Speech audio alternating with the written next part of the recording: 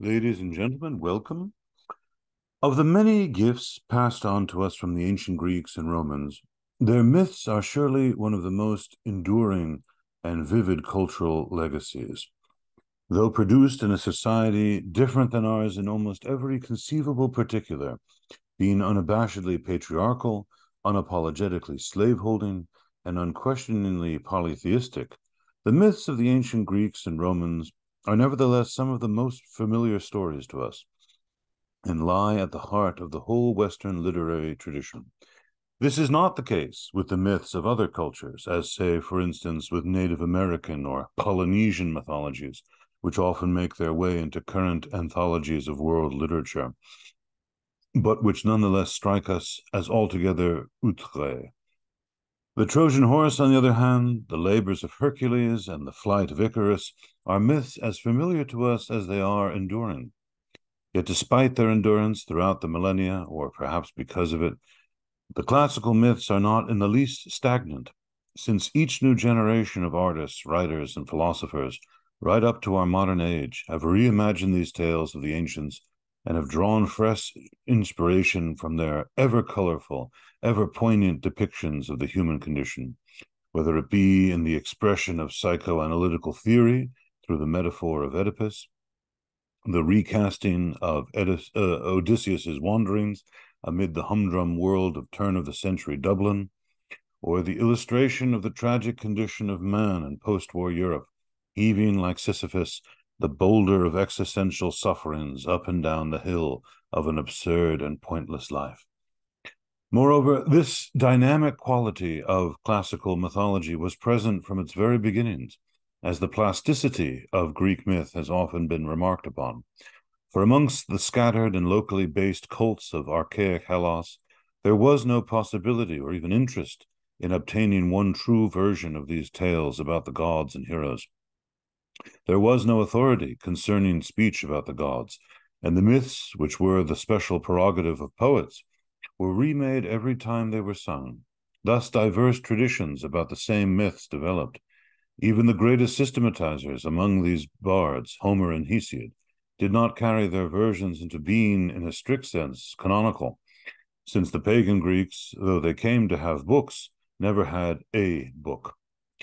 It is exceedingly difficult for inheritors of a Christian revealed church tradition to recapture a frame of mind that arranged belief according to occasion or setting, but such indeed was the character of classical myth.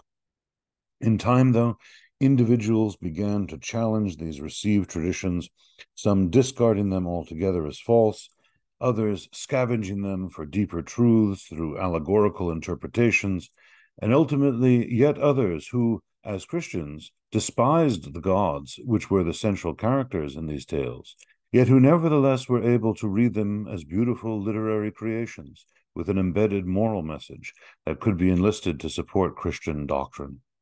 We will examine these ancient myths together and these all these various ways of reading them, starting from their uh, earliest origins with Homer and Hesiod, and going on throughout the classical period, the Hellenistic period, and then into these various ways of reading of allegorical interpretations of um, uh, kind of rational, rationalistic reinterpretations of them, kind of trying to get at the kernel of historical truth in them uh, that certain ancient authors and thinkers uh, employed, and then ultimately the, to the Christian reception of these classical myths. And it is hoped that by this approach, we will learn not only the details of their specific characters, plots, and settings, but that we will also take away something as well of their universalizing quality, which makes them so attractive and timeless. Indeed, because of the perennial appeal of these traditional stories about gods and heroes, modern audiences are exposed to a steady supply of mythical mythically inspired popular and, and highbrow culture in a variety of media, from animated movies to operas. With surprising regularity, however, modern audiences also still turn directly to an ancient source for their myth. Somewhere in the world right now, a play, say, of Euripides is being staged. The appearance of new translations of Homer's epics can still cause critical and popular stirrings and sell a lot of books. And of course, visitors to museums gaze daily in rapt fascination at Greek and Roman sculptures and painted vases depicting mythical figures. We will explore these original sources in our course together as well, both material sources such as ancient vases and frescoes, but of course primarily literary sources that have survived from the ancient world. Yet, before we can explore any of these, there are three things that I would like to accomplish in this introductory part of our lecture. In uh, introductory part of our first lecture. In particular, I want to start off by defining the terms classical, mythology, and most importantly, but most difficultly, myth itself. And then I want to look at some of the problems and difficulties inherent in studying classical mythology. And finally, briefly, I want to describe the approach I will be taking in this course and what I'm going to be doing with these lectures as we look at classical mythology. Let us start then with some definitions. What do we mean by classical mythology? Well, the term classical in this context refers to the cultures of ancient Greece and Rome. Now, those are two separate cultures, separated from one another not only by location, obviously Italy and Greece, and by language, since the Romans spoke Latin and the Greeks Greek, but also separated from one another by time in regard to the high, their high points. Greek culture reached its zenith in the fifth century in Athens, while classical Roman culture uh, reached its apogee in the first centuries BC and AD. So there is a gap there of several hundred years between the high points of these two civilizations, and yet we talk about their mythology as a single unit, classical mythology.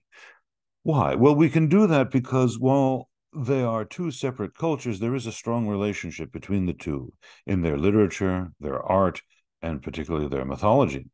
Roman culture borrowed, or perhaps adopted would be a better word, a great deal of its mythology wholesale from Greek culture. Therefore, the myths that developed in ancient Greece were taken over by the ancient Romans. This makes it possible to discuss not just Greek mythology or Roman mythology, but classical mythology as a unified whole. In this course, I will probably find myself using the term Greek myth and classical myth more or less interchangeably, simply because the myths did originate in Greece and were later adapted by the Romans. There are some exceptions to that, but that was generally how things happened. And we will have occasion throughout the course to look specifically at what the Romans did with Greek myth when they adapted it. So much then for the term classical. What about mythology? Well, the term mythology is actually rather ambiguous. Strictly speaking, it ought to mean the study of myth, right? Since ology uh, at the end of a word simply means the logos of that thing, the rational inquiry into the structure of that thing, just as biology is the rational inquiry or study of life, psychology, the study or rational inquiry of the mind, geology, the study of the earth, and so on. So mythology ought to mean the study of myth. And in fact, some scholars do use the term in that way. Properly speaking, that is what it ought to mean. Yet in common usage, mythology tends to mean the whole body of myths told by a particular culture. Someone says to you, for instance, uh, I've been reading a lot of Norse mythology lately. You don't assume that that means that that person has been reading theoretical statements about the myths of Norse culture, or that that person has been reading examinations of those myths. You tend to believe that that person has been reading an anthology of Norse myths. And mythology uh, is oftentimes used in this way. So it does have those two separate meanings, both the study of myth and simply the whole body of myth developed within a particular culture. I will use the term both ways in these lectures. We are doing mythology in the first sense, we are studying myth, but I will also frequently refer to classical mythology or Greek mythology, meaning the whole body of myths as developed in that culture. If mythology is the study of myth, then, or the whole body of myth as developed by culture, what then is myth? Well, now that is a question that has no easy or obvious answer. The attempt to define myth is very difficult, actually, since myth is a notoriously hard concept to define, as we will see in detail in the next lecture, wherein we will look at several theories about myth. For this lecture now, I want to just give you a basic working definition to start with, a definition that I have worked out over years of teaching classical mythology to college students. And I define myth as a working definition to start off with as traditional stories that a society tells itself that encode or represent the worldview, beliefs, principles, and often the fears of that society. Now, every single term of that definition could be argued with, and there are some scholars who no doubt would disagree with every one of them. But just as a working definition to start off with, I think it is useful. Myths, in my definition, are traditional stories or tales. Now, right away, that needs a little fine tuning. Many scholars subdivide traditional tales in any society into three further subcategories myth, legend, and folk tale. In that division, myth, or we might say myth proper, as it is sometimes called, would refer only to stories that have to do directly with the gods. A story about Zeus's rise to power, for instance, would be a myth in this threefold division, whereas a story about Oedipus, Odysseus, or Achilles would not be, because they are human beings and not gods. In this threefold division, legend would refer to traditional stories rooted in historical fact, describing adventures of people who once actually lived, but whose adventures have been greatly exaggerated through the passage of time. So, in our culture, Robin Hood would be an example of a legend. Uh, taking a more recent example closer to home, George Washington has all sorts of legendary stories that have accrued to him. There is no doubt that there was an actual George Washington, and yet many of the stories we tell about him, like his chopping down of the cherry tree, his throwing of a silver dollar across the Potomac River, these sorts of exploits have more to do with the symbolic function that we want George Washington to fulfill in our society than with anything that the historical man George Washington actually did. And so, given enough centuries, he could become purely legendary. The third division, folktale, would refer to stories that are primarily entertaining and that often involve animals, very frequently talking animals, or clever human beings. Not exceptional human beings, common people usually, who are particularly clever in one way or another. Folktale is also referred to as fairy tale, though that is often a misleading term because these stories do not have anything to do with fairies whatsoever. Uh, an example of a uh, fairy of a folk tale or fairy tale for that matter would be Little Red Riding Hood, Goldilocks and the Three Bears, and that kind of thing. So these three categories of traditional tales, these subdivisions into myth, legend, and folk tale, are useful. They can sometimes be very helpful in determining what kind of a story we are dealing with. But at least in classical mythology, these categories overlap to such an extent that the distinctions seem rather artificial. We have stories in classical mythology that combine elements of all three myth, legend, and folktale. Uh, some of the most famous works of literature, for instance, the Iliad and the Odyssey, are impossible to categorize in this system as either myth or legend because they partake of elements of both. In this course, then, we will be looking at traditional stories that would count as legend according to the scheme, and we will even see several examples of uh, what could be called folktale elements within the traditional stories that we look at.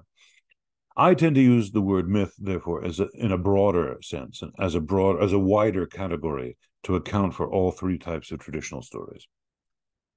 Well, then, if myths are traditional stories, and as I say, traditional stories that a society tells itself about itself, then the next question must be which societies use myth and why do they use it?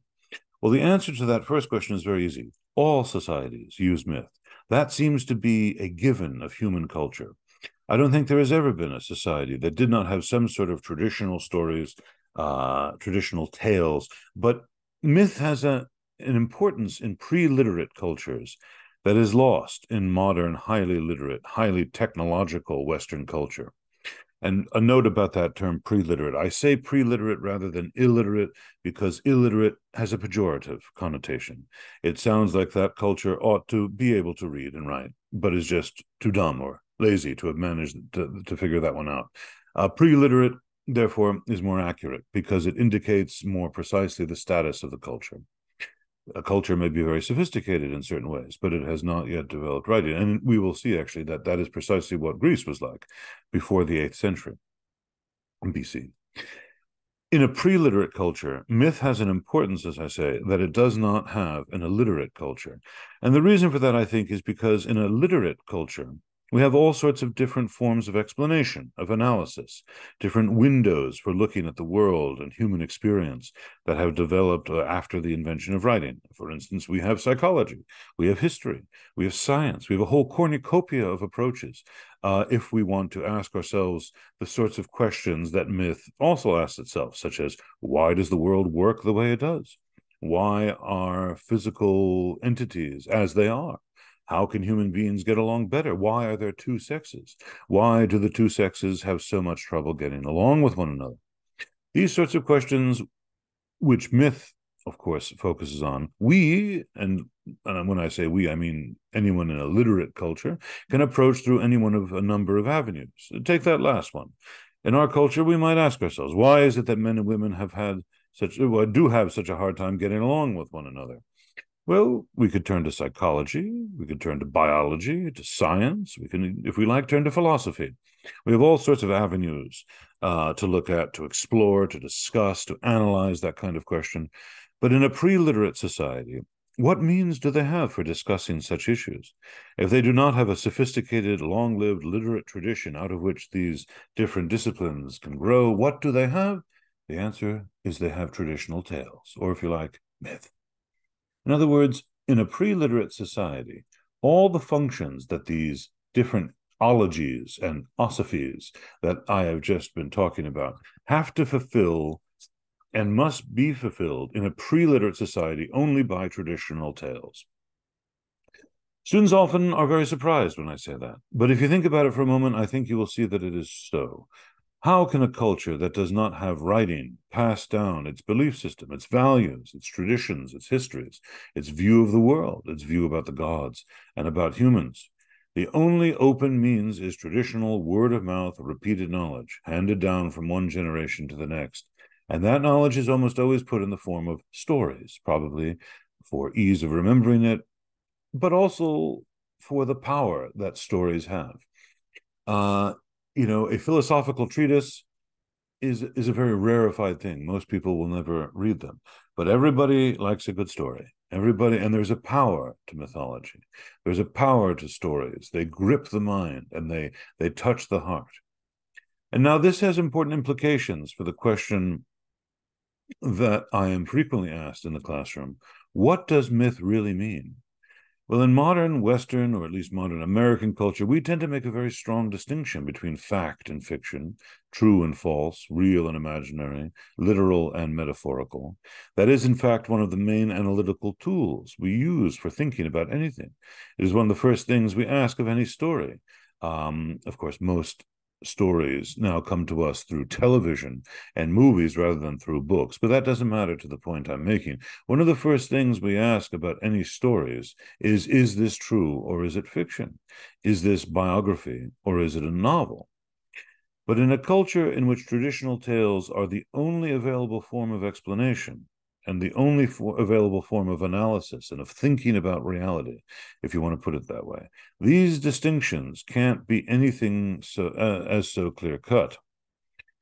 The question, what does myth really mean? Or the question, what does the story really mean? Become anything but simple. Let me give you an example uh, of this phenomenon from Greek mythology itself. In our third lecture, we will start talking about the creation story of the Greeks as told by uh, one of the authors that I've already mentioned, Hesiod. And in that story, we will encounter two entities, two deities, if you like, named Gaia and Uranos. Gaia is a goddess, Uranos is a god, and they have volition, they have desires, they have speech. They mate with one another and produce children. They therefore are anthropomorphized, human like entities, male and female. Yet Gaia is simply a word that Greek in Greek means earth, and Uranos is simply a Greek word that means sky. Gaia is the earth. If you go outside and stamp your foot on the ground, you are stamping on Gaia. Uranos is the sky. All you have to do is go out and look up, and there he is. And students will very frequently raise their hands and say, well, which is it? Which is Gaia? Really, is she the earth or is she a goddess uh, with arms and legs, mind and speech, and so on? And the answer, although perhaps infuriating, is simply yes. because that is the only answer possible. She is envisioned as really being both of those things. So the distinction we tend to make between metaphorical and literal is not really uh, applicable here. It would be a mistake to assume that Hesiod and his audience, when, when Hesiod talks about Gaia and Uranos, felt it as a metaphor in the same way that one does today when we speak metaphorically, say, of Mother Nature or something like that. Gaia was a goddess, but at the same time, also Earth. Greek mythology, like other mythologies, developed in a pre-literate culture, as I said. This means that if we set out to study Greek mythology or classical mythology, we are setting ourselves up for a very paradoxical task. In, it developed in a pre-literate culture, and uh, but what do we do when we study Greek myth? We study it through literature that has been written down. We have to. That is our primary access to it. Our main access to myth comes through written literature. Modern scholars of myth very frequently turn to modern pre literate societies to try to figure out what myth is and how it works. You see, kind of like a um, comparative anthropological pr- approach. And this anthropological approach to myth is one of the more fruitful ones in the modern world of, of myth study, of, of the theoretical study of myth uh, that exists. And we're going to be learning all about the kind of uh, pioneers of that in our next lecture. Uh-huh. In this anthropological approach, scholars go to live in cultures, talk to living representatives of those cultures, write down what representatives tell them about their myths, get a sense of how myth works in its native habitat. They can study myth as a living element of a living culture. When we talk about classical myth, however, when we want to look at the myth of the ancient Greeks and Romans, in effect, we are trying to do anthropology anthropology backwards in time. We are trying to do anthropological observation on a culture that has no living representatives. This is a very frustrating and very difficult task. Obviously, I think it is worthwhile and it is worth undertaking, but there are some difficulties and problems inherent in it that we need to bear in mind throughout this course. What, for instance, are our sources for doing this backwards in time anthropology? Most obviously, as I say, literature, the literary works that have survived from ancient Greece and Rome that, that recount the myths of those cultures. And to supplement literature, archaeology comes into the picture. We can supplement archaeological artifacts, remnants of buildings, for instance, artwork, vases, and so on. Both of these things, however, that is, both literature and archaeology, present formidable problems for trying to reconstruct what Greek and Roman myths were in their living environment. Let us consider each of these in turn, starting with literature first. Even in as well documented and well studied a society as classical Greece, the written versions of myths involve several problems from, for a scholar of myth. First of all, myths are frozen. Written myths are a frozen thing. And by that, I mean once a version of a myth is written down, it is fixed. There it is. And we, as literate people, have a strong tendency to assume that that means that that version is somehow the myth, the real myth, the only way the myth was ever told. But that is not how traditional tales work in any oral setting. Uh, if I were to ask one of you right now to tell me the story of Little Red Riding Hood, I would get as many slightly different versions of that story as there are people responding. That is how a living oral tradition works. However, once a story is written down, when our access to it is through writing, we tend to assume that that is the real story. I can give a very clear example of what I mean by this. Uh, everybody knows the story of Oedipus the king, how he killed his father and married his mother without knowing who they were. When he discovered the terrible thing that he had done after his mother hanged herself, Oedipus blinded himself, went into exile, and never returned home to Thebes again, right? well, right according to Sophocles' play Oedipus the King. But in the Odyssey of Homer, there is a very brief reference to Oedipus, which agrees that yes, he killed his father and married his mother. Yes, his mother killed herself after the truth came out. But Oedipus, says Homer, continued to rule in Thebes for many years thereafter. Indeed, even in a different play by Sophocles himself, we see variations of the details, as, for instance, when we are told in his Antigone that Oedipus died wretchedly in shame as a wanderer on the earth. However, in Sophocles' much later play, Oedipus at Colonus, the final scene is of Oedipus being taken up into the heavens by the gods as a king or sort of semi divine figure, um, which is the real version of the Oedipus, uh, Oedipus myth. They all are.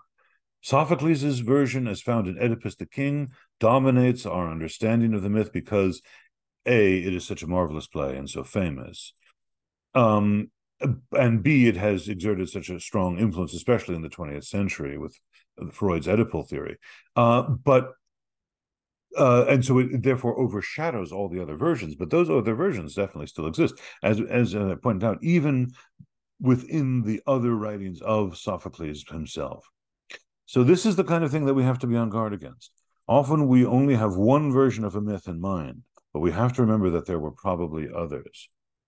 Another problem in studying myth through literature is that myths were the givens of a society. Were they were something that everybody knew. And so very frequently authors will make the briefest possible allusion to a myth without explaining what it means or who it is. I did this myself a few moments ago when I referred to George Washington. I didn't have to tell you who George Washington was. I didn't have to tell you where he was born, where he died, what he did, whom he married. You know all that. He is a given of our society. However, a scholar a thousand years from now, 2,500 years from now, uh, in the future, um, if all they had were the references, if all that scholar had were references to George Washington that that uh, I or anyone else made elliptically, as I just did, it would be a very difficult thing to reconstruct who George Washington was if all they had were those kind of scattered references. They wouldn't. They would have a very hard time trying to figure out what he did. What was that bit about the cherry tree? Uh, you know, why was he important? That is a very difficult thing. Uh, that a great difficulty that we have when we approach myth through literature. A perfect example of what I'm referring to here occurs in Book One of the Iliad where the hero Achilles speaks to his divine mother, the goddess Thetis, and asks her to approach Zeus for a favor. He says that Zeus will grant her re- this request because of something she had done for him once before. She had done something for Zeus. He says, If you are able, guard your own son. That would be Achilles. So Achilles is talking to his mother, saying, If you're able, guard your own son. Go to Olympus and make prayer to Zeus. If ever you have gladdened his heart by word or deed, for often I have heard you glorifying, uh, that is, glorying, boasting in the halls of my father, and declaring that you alone among the immortals warded off shameful ruin from the son of Kronos, lord of the dark clouds, on the day when the other Olympians wished to put him in bonds, even Hera and Poseidon and Pallas Athena. But you came, goddess, and freed him from his bonds when you had quickly called the high Olympus. I'm sorry, when you had quickly called to high Olympus him of the hundred hands, whom the gods call Briareus, but all men Aegaeon, for he is mightier than his father. He sat down by the side of the son of Kronos, that is Zeus, exulting in his glory, and the blessed gods were seized with fear of him, and did not bind Zeus. Bring this now to his remembrance, sit by his side, and clasp his knees and then the, then the scene goes on. The reference is very natural in the scene, just as one would speak about something to somebody who already knew all the details, like George Washington. But the problem is, we have no idea what this is referring to. Uh, besides this little casual anecdote, this myth is totally unknown to us. Um, the closest parallel is a revolt against Zeus by the Titans, which we will read in Hesiod. But here it is the other Olympians who are revolting against Zeus, Hera, uh, who is the wife and sister of Zeus, Poseidon, and Athena.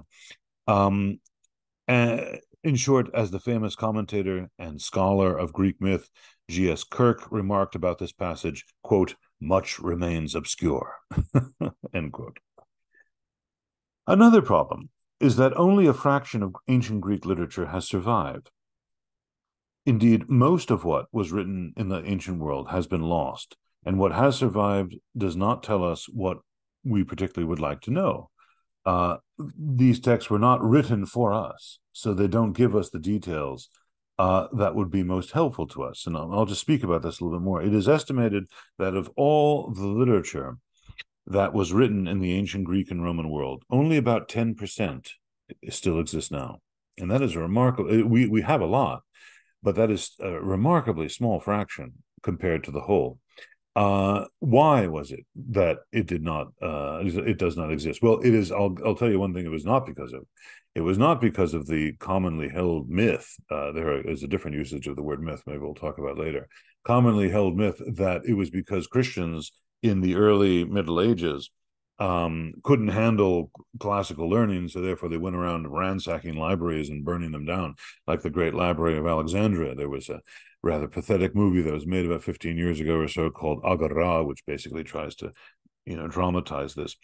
Uh, no, uh, in fact, all that needed to happen. In fact, the, the the reason why we even have the classical literature that we do have is because monks in the Middle Ages all took great pains to copy the, these manuscripts over. No, the, the reason why so much has been lost is simply for, for the reason that if uh, all it took for something to not survive was for people to do nothing, and the ravages of time would take care of the rest in order for any manuscript from the, from ancient Greece, you know, let's say the fifth century Athens, in order for that to make it into uh, the pre, you know, the early modern period when we have the printing press, let's say in the in the 1400s, the only way that, or and then and then after that, the only way that for that to survive would be somebody every couple of generations, you know, definitely at least you know, once every, say, 60 years or 100 years or so, somebody who knew how to read and write, and there weren't the proportion of people who were literate in ancient Greece was actually very small, uh, probably no more than 25%, really, uh, by the classical period. Um, so somebody had to who knew how to read and write had to take enough time to copy over the entire text uh, and then another person had to do that within the next, say, 60 to 100 years. And that process needed to go on. And if there were any fires, if there were worms eating up the pages, if there was, you know, whatever, somebody needed some paper to uh, light up the stove or something like that, you know, all sorts of things could happen, wars. And, uh, you know, and, and, as I said, just nothing at all. If a person waited too long, that paper would molder away and it would be, you know, ancient papyrus was, uh, you know, made out of plants. And so, uh, I mean, a modern day paper is too, but it didn't have any of the kind of like specialized treatment that modern day paper has. So you get the idea. The ravages of time would basically make sure that things just didn't survive. So we, it is amazing that we have as much as we do. Well, what about archaeology? I mentioned before that the archaeological record um, can uh, and literature can often shed light upon one another. However, archaeology is, if anything, even more difficult to use as a reconstruction of myth than literature is. An archaeological artifact by itself tells us little or nothing about a myth to which it may refer. A statue, a painting, uh, if we do not already know the stories upon which those items are based, we cannot extrapolate the stories from the artifacts themselves. The same is true for buildings if we know a building was a temple in honor of a particular god, it may uh, be we may be able to come up with some idea of what went on in that building and how that particular god was honored. But if we don't have external evidence, and that in the case of uh, of an ancient culture means written evidence, if we don't have written evidence to explain the archaeology, then the archaeology itself, uh, uh archaeology itself can often be close to incomprehensible. Uh, there is a joke, for instance, among classical archaeologists that whenever archaeologists have no idea what an object is for, they will always say, well, it is of, quote, clear ritual significance. um, and uh, if we don't know what something was, it must have been used for some ritual that we just don't know about you know uh, that you can see obviously that explains nothing and that is a problem that we come up against in the archaeological record over and over again not knowing what things were for not knowing uh, the stories behind the images. You know, my mother particularly likes to collect little figurines of animals. Um, you know, if some archaeologists were to find them uh, 2,500 years from now, uh, no doubt that archaeologist would assume that they have a clear ritual significance. But of course, that isn't the case. Um, and we can also be misled by references in literature to thinking we know what an archaeological building or artifact was for when we actually don't. Let's for a moment imagine that we are archaeologists 2,500 years in the future, excavating some great American city like Washington, D.C., and that we have as remnants of the English language um, several novels of Charles Dickens, two or three Jane Austen novels, uh, Huckleberry Finn, and eight volumes of the 1925 Encyclopedia Britannica, including the volume G. Well, as we excavate Washington, D.C., we come across all sorts of small buildings, each one laid out on the same plan, and each one with large, clearly ritually significant golden arches in front of it. We have read our Charles Dickens and our Jane Austen. We've got volume G of the Encyclopedia Britannica. We know that Gothic cathedrals and churches featured arches. It is a little bit disconcerting that one uh, uh, that are American novel, one of those American novels that we have, Huckleberry Finn, doesn't say anything about these little Gothic churches. But Mark Twain wasn't very religious, perhaps, and uh, he wasn't interested in something uh, everybody already knew. So there you have it. McDonald's are Gothic churches. now that is a silly example, I know, but I think it, it is illustrative of a problem that the, the problem generally that we have when trying to reconstruct the ancient world. Um, very frequently, the written record is no closer a match to the archaeological record than that. We can think we know what we are looking at, when in actuality, we are looking at something entirely and completely different, but we have no way of knowing that. So, where does that leave it? Leave us? Is this a hopeless endeavor? Should we just give up at this point and say there is no way we could possibly study classical mythology? Well, obviously, I don't think so. I think we just need to bear these difficulties in mind and be cautious as we start our survey of classical mythology. We need to remember that we are studying only particular variants of the myths. Sometimes we can reconstruct a fairly full version of how the myth must have operated in its original society uh, when we have all sorts of variants uh, to work with. Other times we can't. Other times we will have to use only one version of a myth and no others. Some references remain tantalizingly obscure. Sometimes we just don't know what a character's name is or a snippet of a story refers to. Occasionally, a work of art preserves what is clearly a very different version of a myth than the ones known to us by extant literature. Uh, for example, there is a beautiful classical Greek vase uh, with a depiction of a character who is very clearly Jason from the story of Jason and the Argonauts. And this, you see that in front of you here. Jason got the golden fleece after his voyage on the Argo. The golden fleece is there on a tree behind Jason. You can see that. There's the fleece there hanging. Um, yet in this painting, the dragon is either swallowing Jason or spitting him back out again. Jason is halfway out of the dragon's mouth. His arms and head are visible outside the dragon's mouth. And yet, in no written version of Jason's story that has survived for us, does the dragon eat Jason or attempt to eat Jason. The whole point is that Jason is helped by Medea, uh, who gives him a magic potion uh, so that he can overcome the dragon without being eaten. If this vase painting had not survived, we would literally not know that there had ever been a variant on uh, of this story in which Jason was eaten by a dragon. And yet, because of the painting, that is this vase painting, we know this variant existed, but that is all we know about it. We have no written description whatsoever of this version of Jason's story. Therefore, we cannot recover all the versions of a myth. We also probably can never know all the nuances, all the resonances of a myth within its own society. Again, when I say uh, George Washington, uh, that brings up all sorts of associations in our mind. Elementary school plays. I particularly performed in a play about George Washington was when I was in elementary school. The Fourth of July, and so on. All of these things are there as free associations with the name George Washington that kind of nuance, that kind of resonance is unrecoverable for us regarding classical mythology. We're not going to know that in uh, all its detail about any culture, probably other than our own, even um, even cultures that are that in, uh, that exist right now, unless we are really very familiar with them, unless we're bicultural, as the as the term sometimes is, uh, we won't know all of that kind of stuff. And so, within these limitations, we can use what we know about classical society to shed light on its mythology, and we can use what we know about these myths to shed light on that society. Just to sort of summarize a little of what we'll be doing in this course and how I am planning to organize these lectures. there are three main points to mention here. First of all, and most simply, the lectures will provide you with familiarity with the primary classical myths that are covered in the readings that uh, we will be going over for this class. This is by no means a survey of all classical myths or even of all important classical myths. I've had to leave a very great deal out. But what I have tried to do is to pick representative, important myths that will give you a good taste of classical mythology. Of course, this uh, course will familiarize you with many of the major characters, stories, and themes of classical myth.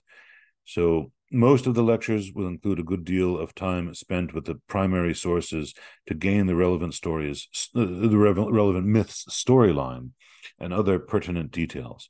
That will frequently entail different versions or variants of the myth when we have them, and discussing the implications of those variants for our understanding of how the myths work.